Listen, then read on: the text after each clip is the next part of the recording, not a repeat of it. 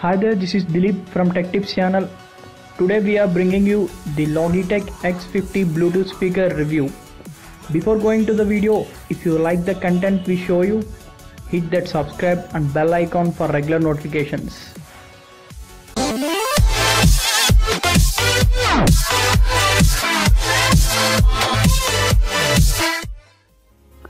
This is the box it comes on. On the back we have some pricing. It's too high about 2500 but it's available for 14 to 1500 in Amazon. We have the micro USB cable to power the device. And then we have the Logitech X50 Bluetooth speaker itself. It's quite compact in size and not much weight. On the side we have power and volume keys.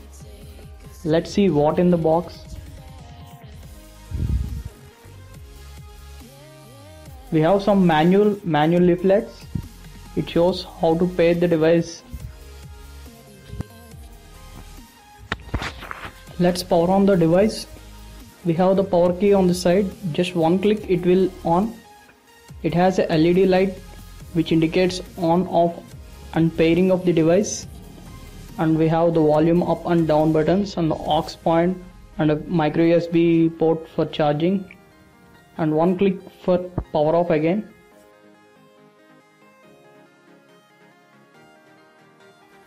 We have tested it with charging and it takes 4 to 5 hours to fully charge. And when the battery is full it shows the pink light It's easy to pair with the devices.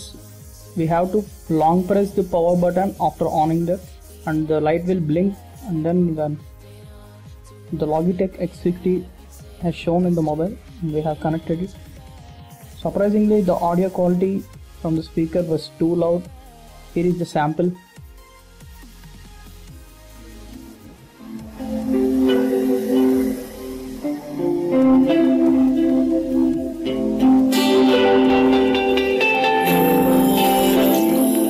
we are using this Logitech X50 Bluetooth speaker from Avik. We can say it one of the best Bluetooth speaker in the price of 1500. The audio outcome very was very loud. From our side, we surely recommend this to. Fingers